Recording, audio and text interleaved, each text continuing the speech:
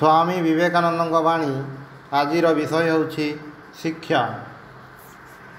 ଶିକ୍ଷା ବିଷୟରେ ସ୍ୱାମୀ ବିବେକାନନ୍ଦ କହୁଛନ୍ତି ମୁଣ୍ଡରେ କେତେ ଗୁଡ଼ିଏ ଭାବ ପୁରାଇ ସାରା ଜୀବନ ହଜମ ହେଲା ନାହିଁ।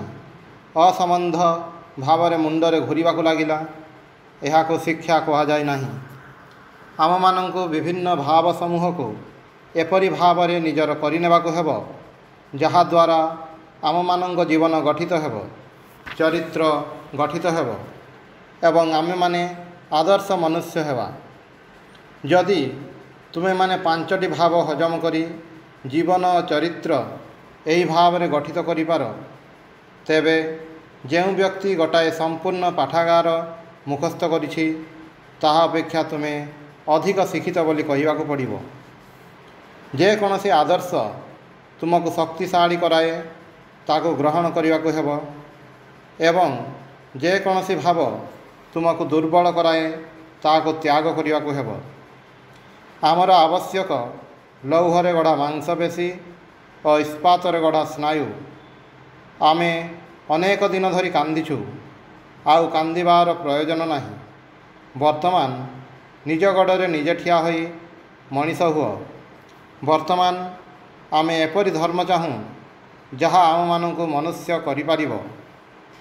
ଆମର ଏପରି ମତବାଦ ସବୁ ଆବଶ୍ୟକ ଯାହାଦ୍ୱାରା ଆମେ ମନୁଷ୍ୟ ହେବୁ। ଯାହାଦ୍ୱାରା ମନୁଷ୍ୟ ଗଠିତ ହୁଏ ଏପରି ସର୍ବାଙ୍ଗ ସମ୍ପନ୍ନ ଶିକ୍ଷାର ପ୍ରୟୋଜନ। ଦୁର୍ବଳତା ବିଷୟରେ ଭାବିବାକୁ କହିବା ଦୁର୍ବଳତାର ପ୍ରତିକାର ନୁହେଁ। ଜଣକୁ ତାହାର ଶକ୍ତି ସମ୍ବନ୍ଧରେ ସଚେତନ କରାଇଦେବା ହିଁ ପ୍ରତିକାରର ଉପାୟ। ମଣିଷକୁ ତାହାର ଅନ୍ତର୍ନିହିତ ଶକ୍ତି ବିଷୟରେ ଶିକ୍ଷା ଦିଅ। ମନର ଶକ୍ତି ସମୂହ ଇତସ୍ତତ ବିକ୍ଷିପ୍ତ ଆଲୋକରଶ୍ମି ସଦୃଶ ସେଗୁଡ଼ିକ କେନ୍ଦ୍ରୀଭୂତ ହେଲେ ଯେକୌଣସି ବିଷୟକୁ ଆଲୋକିତ କରିପାରନ୍ତି। ତାହା ହିଁ ଆମମାନଙ୍କର ଯାବତୀୟ ଜ୍ଞାନର ଏକମାତ୍ର ଉପାୟ। ମନର ଏକାଗ୍ରତା ଶକ୍ତି ବ୍ୟତୀତ ଆଉ କେଉଁ ଉପାୟରେ ଜଗତରେ ଏହି ସକଳ ଜ୍ଞାନ ଲବ୍ଧ ହୋଇଛି? ପ୍ରକୃତିର ଦ୍ୱାର ଦେଶରେ ଆଘାତ କରିବାକୁ ଜାଣିଲେ କେଉଁ ଭାବରେ ଆଘାତ କରିବାକୁ ହୁଏ ତାହା ଜଣାଥିଲେ। ବିଶ୍ୱ ପ୍ରକୃତି ସିଅ ରହସ୍ୟ ଉଦ୍ଘାଟିତ କରିଦିଏ।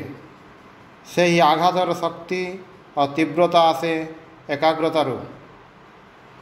ଆମର ମାନସିକ ଶକ୍ତିର କୌଣସି ସୀମା ନାହିଁ। ତାହା ଯେତେ ଏକାଗ୍ର ହୁଏ ତାହାର ଶକ୍ତି ଗୋଟିଏ ବିଷୟ ଉପରେ ସେତେ ବେଶୀ କେନ୍ଦ୍ରୀଭୂତ ହୁଏ। ଏବଂ ଏହା ହିଁ ପ୍ରକୃତ ରହସ୍ୟ ଆତ୍ମା ପକ୍ଷରେ କିଛି ଅସମ୍ଭବ ଏ କଥା କଦାପି ଭାବ ନାହିଁ ଏପରି କହିବା ଭୟଙ୍କର ନାସ୍ତିକତା ଯଦି ପାପ ବୋଲି କିଛି ଥାଏ ତେବେ ମୁଁ ଦୁର୍ବଳ ବା ଅନ୍ୟମାନେ ଦୁର୍ବଳ ଏ କଥା କହିବା ହିଁ ଏକମାତ୍ର ପାପ ଜାଣି ରଖ ଯେକୌଣସି ଚିନ୍ତା ବା ବାକ୍ୟ ଆମମାନଙ୍କୁ ଦୁର୍ବଳ କରେ ତାହା ହିଁ ଏକମାତ୍ର ଅଶୁଭ। ଯାହା କିଛି ମନୁଷ୍ୟକୁ ଦୁର୍ବଳ କରେ ଭୀତ କରେ ସେହି ଏକମାତ୍ର ଅଶୁଭକୁ ପରିହାର କରିବାକୁ ହେବ ସବୁଠାରୁ ବଡ଼ ପାପ ହେଉଛି ନିଜକୁ ଦୁର୍ବଳ ମନେ କରିବା।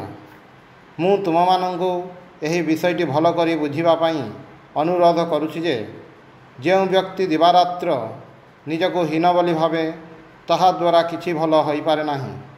ଯଦି କୌଣସି ବ୍ୟକ୍ତି ଦିବାରାତ୍ର ନିଜକୁ ଦିନ ଦୁଃଖୀ ହୀନ ବୋଲି ଭାବେ ସେ ପ୍ରକୃତରେ ହୀନ ହୋଇଯାଏ।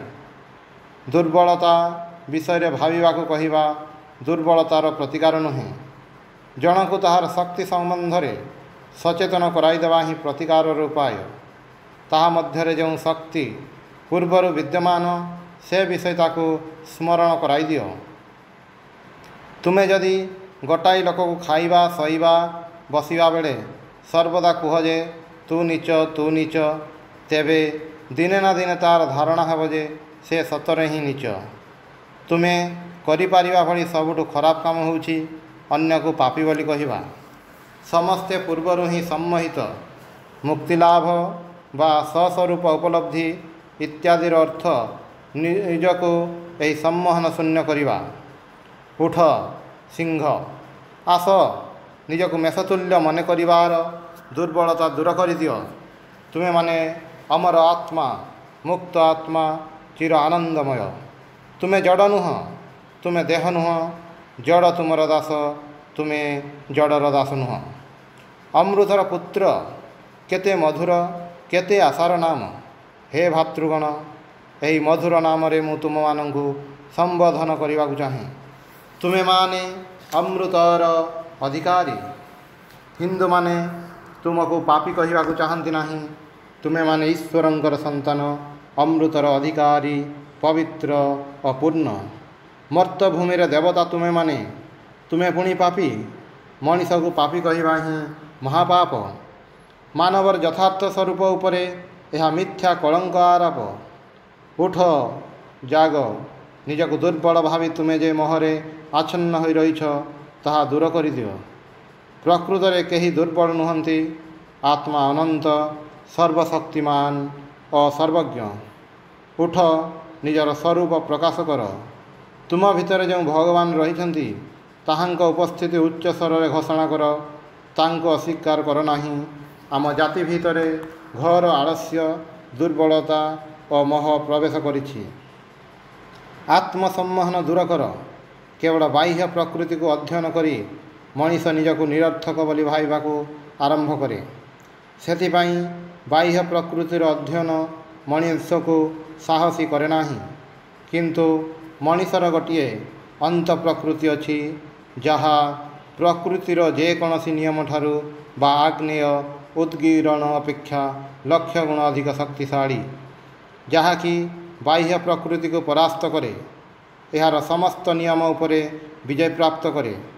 ତାହା ହିଁ କେବଳ ମଣିଷକୁ ଶିକ୍ଷା ଦିଏ ଯେ ସେ କ'ଣ। ତୁମେ କ'ଣ ଜାଣ? ତୁମମାନଙ୍କର ଏହି ଦେହ ଭିତରେ କେତେ ଶକ୍ତି କେତେ କ୍ଷମତା ବର୍ତ୍ତମାନ ଲୁକାୟିତ ହୋଇ ରହିଛି?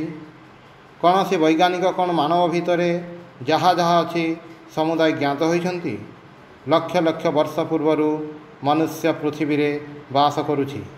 କିନ୍ତୁ ତାହାର ଶକ୍ତିର ଅତି ସାମାନ୍ୟ ଅଂଶ ମାତ୍ର ଏପର୍ଯ୍ୟନ୍ତ ପ୍ରକାଶିତ ହୋଇଛି। ଅତଏବ ତୁମେ କିପରି ନିଜକୁ ଦୁର୍ବଳ ବୋଲି କହୁଛ? ଆପାତ ପ୍ରତୀୟମାନ ଏହି ଅବନତିର ପଶ୍ଚାତରେ କ'ଣ ରହିଛି ତାହା ତୁମେ କ'ଣ ଜାଣ? ତୁମ ଭିତରେ କ'ଣ ଅଛି ତାହା ତୁମେ ଜାଣ କି? ତୁମର ପଶ୍ଚାତରେ ଅନନ୍ତ ଶକ୍ତି ଓ ଆନନ୍ଦର ଅପାର ସମୁଦ୍ର ରହିଛି। କୁହ ନାହିଁ ଯେ ମଣିଷ ଜଣେ ପାପି ତାକୁ କୁହ ଯେ ସେ ଭଗବାନ। ନିର୍ବୋଧମାନେ ଉପଦେଶ ଦେଇଥାନ୍ତି ତୁମେ ପାପି ଅତଏବ ଗୋଟିଏ କଣରେ ବସି ହାଇ ହାଇ କର। ଏଭଳି କହିବା ନିର୍ବୋଧତା ଦୁଷ୍ଟାମି ଓ ଶଠତା ତୁମେ ସମସ୍ତେ ଈଶ୍ୱର ବେଦାନ୍ତ କହେ ସର୍ବାପେକ୍ଷା ବିଷମ ଭ୍ରମ ହେଉଛି ନିଜକୁ ଦୁର୍ବଳ ପାପି ଏବଂ ହତଭାଗ୍ୟ ବୋଲି କହିବା ମୋର କୌଣସି ଶକ୍ତି ନାହିଁ ମୁଁ ଏହା କରିପାରିବି ନାହିଁ ମୁଁ ତାହା କରିପାରିବି ନାହିଁ ଏହା ହିଁ ବିଷମ ଭ୍ରମ। କାରଣ ଯେତେବେଳେ ତୁମେ ଏଇଭଳି ଚିନ୍ତା କର ସେତେବେଳେ ତୁମେ ଯେଉଁ ଶୃଙ୍ଖଳ ତୁମକୁ ବାନ୍ଧି ରଖିଛି ତାହାକୁ ଅଧିକ ଦୃଢ଼ କର। ତୁମେ ତୁମର ଆତ୍ମାକୁ ପୂର୍ବଠାରୁ ଅଧିକ ମାୟା ଆବରଣରେ ଆବୃତ କର। ଅତଏବ ଯେ ନିଜକୁ ଦୁର୍ବଳ ବୋଲି ଚିନ୍ତା କରେ ସେ ଭ୍ରାନ୍ତ। ଯେ ନିଜକୁ ଅପବିତ୍ର ବୋଲି ମନେ କରେ ସେ ଭ୍ରାନ୍ତ। ସେ ଜଗତରେ ଗୋଟିଏ ଅସତ୍ ଚିନ୍ତାର ସ୍ରୋତ ବିସ୍ତାର କରେ। ଓಂ ଶାନ୍ତି ଶାନ୍ତି ଶାନ୍ତି। हरि ओम तत्सत।